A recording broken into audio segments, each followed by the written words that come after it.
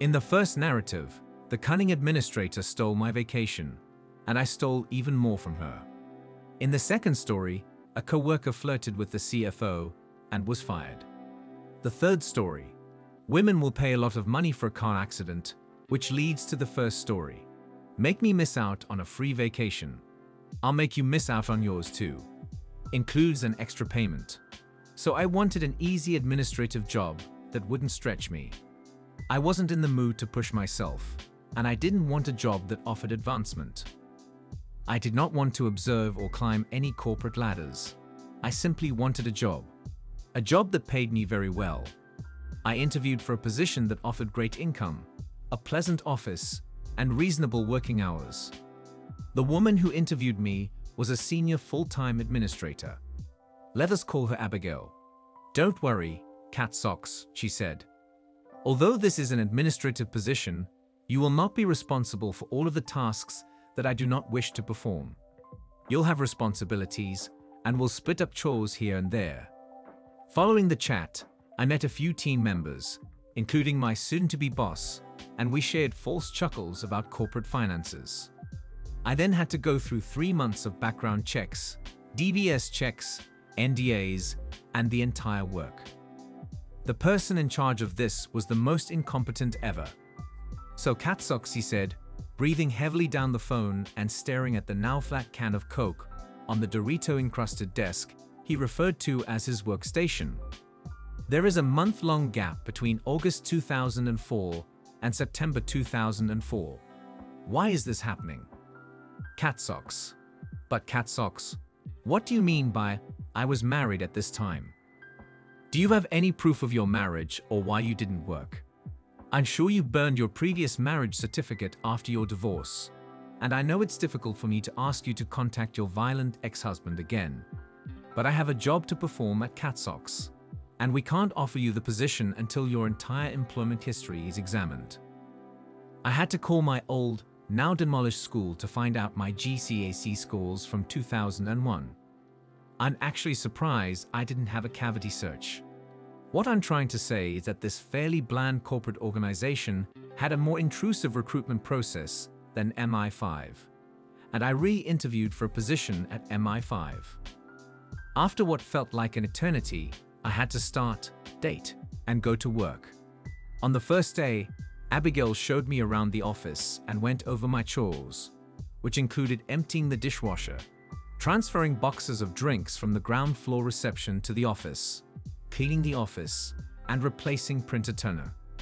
Basically, anything Abigail didn't want to do until I was trained enough to arrange flights and track employee spending. I had to take my lunch break at 3 p.m., exactly half an hour after everyone else had returned from lunch, in case we had a chance visitor who needed to be collected from reception. We never did. I didn't care. I was being paid. It was a simple, chimpy job, and I always left on time the days I worked. A few months into employment, Abigail informs me that she is undergoing IVF and will need to take prolonged lunch breaks and leave work two hours early on the days I worked. This left me responsible for both her and my work. I requested that she please finish her responsibilities before leaving. She said I was threatening her and may be held accountable if her IVF failed or she miscarried. I knew she was nuts, so I left her to it. One year later, and everything is going nicely. I'm getting paid, and Abigail is taking days off for IVF as needed. She has now graduated to avoiding getting up from her desk for fear of hurting her non-pregnant uterus, prohibiting all nuts in the office, since they reportedly trigger inflammatory response and ordering an excessive amount of decaf coffee on business time. Caffeine seemed to be harmful to non-existent children. Therefore, she was the only one who could drink. I then have the opportunity to travel to Thailand for 10 days for free on an all-expenses-paid holiday. I was desperate to travel, so I submitted a holiday request as soon as possible, as the trip was set to leave in a month. The request was refused by Abigail without explanation. I planned a meeting with her and my employer to explain that I had ample vacation time and that nothing on my calendar prevented me from going. She explained that I couldn't travel because she might need to see her IVF doctor and take a week off to de-stress and receive her therapies. Might. She stated that it is in my contract. That leave can be revoked if the company requires coverage or when there is a heavy workload, and that her sick leave would take precedence over my vacation. My supervisor agreed, so that was that. I had to miss out on the trip, and to make matters worse, she refused to take any time off during the weeks I requested. There was not a single extended lunch break, not one day off for conception yoga. She worked her contracted hours from sunrise to night for only one week. The following week, Abigail emailed me to say she was going on extended leave for six weeks. Because IVF isn't working, she needs some relaxing time. How could she accumulate enough holiday time?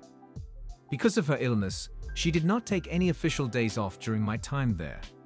I was perfectly happy with this, because she was a pain to work with. I inquired as to who will fill the tasks. No one is the solution. She was going to give me all of her responsibilities to fulfill. I inquire if I will be compensated for this. No is the answer. I went out to lunch and ended up having a full-fledged panic episode. Floating mascara, snot bubbles, and the complete works in the midst of a congested London thoroughfare are in my mind. I concluded that this was damaging my mental health. The next day, I scheduled an appointment with my doctor. She advised signing me off from work for two weeks with the possibility of re-evaluating if I didn't feel I could return. Still in the doctor's office, I called my actual boss and informed him that I had been approved off from work. I gave no justification and claimed I'd send an email with the GP's note. Abigail's plans had to be cancelled because my legitimate sick leave took priority over her vacation. Two weeks later, I honestly believed that returning was a sentence worse than death, so I had my sick leave extended for another month. Again, Abigail's plans had to be postponed, and she had to leave her desk to do some actual work. After my six-week sick leave ended, I submitted my month's notice, declaring that I would not be returning to work. This meant they had to either pay me sick leave for the entire month, then begin the three-month recruitment process, effectively waiting four months for someone else, or pay me off and begin the procedure that day. They picked the latter, and I parted ways with the company. She was still not pregnant when I last heard, and she now runs a consulting business from her home. Hopefully, she'll allow herself enough time off. The second story is hippity hoppity. You are losing your job. This occurred during my final summer in college. I worked at a discount retailer with a used bookstore and cafe inside. Employees in the bookshop rotated among three roles production, sorting through used incoming inventory, distribution, shelving used goods, and cafe, baking, preparing smoothies and coffee drinks, and operating the cash register. It was almost my second year at the company when my manager, MM, moved me to a full-time role. It was my first full-time job, and my family was really proud of me.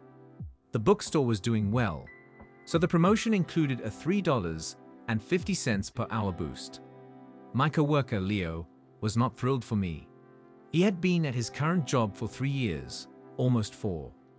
He was excellent at production and distribution, but he was often late for work. He had completed a culinary arts program, but he was the supervisor for me and my coworkers. We had a staff of eight, excluding management. He behaved as if he were in charge. He wasn't. On top of that, Leo repeatedly told me that I did not deserve the promotion. You do not work quickly enough. Move out of the way and let me do it. That is not how you speak to a customer. You have to be firm. Must seduce them. You work like a woman. BBC. My initials. Let a man do it. MM didn't like how Leo communicated with me or anybody else, so she assigned him to solely do production. Leo didn't like it, so he filed a complaint against Mitchell for job discrimination and sexual harassment. At the time, Mitchell was happily married with three children, while Leo was a single guy 16 years a senior. Essentially, Leah reported Mitchell to Human Resources for anything resembling a potential lawsuit. Mitchell was forced to assign Leo 32 hours per week over all three schedules. MM asked me to observe him bake and distribute books. I've seen a pattern with Leo. He was always creeping on women in the store. If a female customer was not attractive, he would barely speak with her. But if he believed someone was attractive, he complimented her and attempted to touch her. If she flirted back, he would ring up discounts she didn't get, make a line of clients wait to speak with one woman, etc. The Leo was 46 and 47 years old, but he flirted with 18-year-olds just as often as 42-year-olds. This is critical for how the revenge is carried out. Every month, we conducted customer surveys, and Leo received the majority of negative feedback. Female consumers complained in the surveys about being flirted with, and some male customers disliked waiting in large queues. Couldn't use that against him, so she booked him and me to open on the same day our corporate office came to visit. Corporate paid a visit once a quarter to look around, shop, and evaluate how the business was progressing before leaving. The group included a female CFO who matched Leo's physical characteristics. Mitchell had already met her, but Leo had not because he was working in production at the time. When the corporate office came, Mitchell smiled brightly and made a point of recognizing the female CFO. Leo followed the group around the store, creeping on the CFO the entire time. The group parted ways, and Mitchell encouraged the CFO to stay in the store and browse. Mitchell went to her office. The CFO approached the register and requested a hot white chocolate mocha. I had to stand by and prepare any ordered drinks or sandwiches. Leo, I have your hot white mocha right here, darling girl. CFO's eyes widened and her cheeks reddened. I apologize, what? Leo said it louder. I have a white chocolate drink for you with all of the whipped cream you need. The CFO backed away. No thanks. She walked to the manager's office at the back of the store, glancing back at Leo with disgust. By the conclusion of the day, Mitchell had me fill out a witness report detailing what I had seen and heard. Leo got written up. The CFO somehow learned about all the bad surveys Leo had taken. Only managers have access to survey feedback, allowing them to enhance the store. Within a week, Leo had been sacked. I remained friends with Leo on social media even after leaving the bookstore. He resigned his past two jobs after being fired from one for being late and being threatened by his boss's daughter to call the cops on him. Meanwhile, Mitchell and her family have relocated to another state and started a new career. The final story is unintentional revenge. I had an automobile accident that I benefited from. A woman driving an SUV hit me as I was backing out of a parking spot in a parking lot. She had passed me and driven into a parking spot behind me, so I began backing away. She pushed her car into reverse and backed into me. A somewhat closer position was available, which she initially overlooked. It caused a basketball-sized dent on my rear driver's side tire. She was on the phone the whole time. She casually pulled into the closest place and got out of her car. She resumed walking past me as if nothing had occurred. I got out of my car and asked her if she saw me or not. She claims I hit her and then went into the store to shop. I obtained her license plate number and vehicle description before leaving. I'd never been in an accident before, so I didn't understand why I should have called the police. I assumed that because it occurred on private land, I didn't have to. I reported it to my insurance carrier, and they sent out an adjuster, among other things. She informed her insurance company that I drove away from the scene and refused to talk to her or share information. She couldn't characterize either me or my car. Her car had not been damaged. Long story short, they found that I was telling the truth and issued me a check minus my deductible. I had my car fixed and assumed that was the end of it. My insurance company called and asked me to go over my side of the event again because there were some differences in her version. They were attempting to recover their money from her insurance carrier since the claims adjuster stated that after investigating both vehicles, the collision was entirely her responsibility. She informed them that the back of my automobile collided with the passenger side of her car, but she sustained no damage.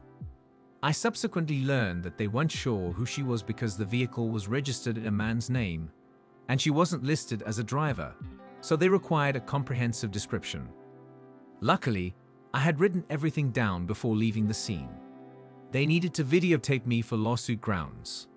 About three months later, I received a call from the same girl at my insurance company informing me that I would be refunded my whole deductible.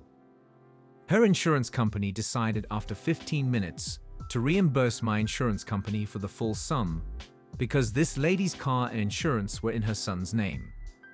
She was the company's original client and added her son to the account, but was dropped along the road, leaving her son as their single client.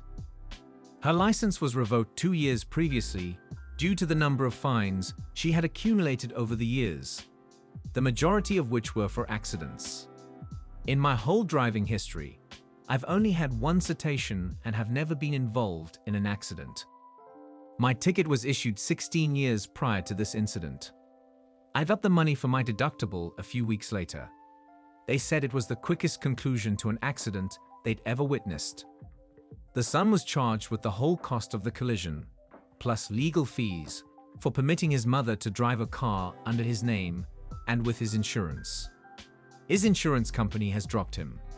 The lady informed me that he could face charges for enabling her to drive in his name, despite the fact that she had a revoked license. I'm not sure how accurate this statement is, but that's what I was informed. In either case, the collision would cause his insurance premiums to increase. I ended up making $130 off of this. Transcription Outsourcing, LLC provided the transcripts.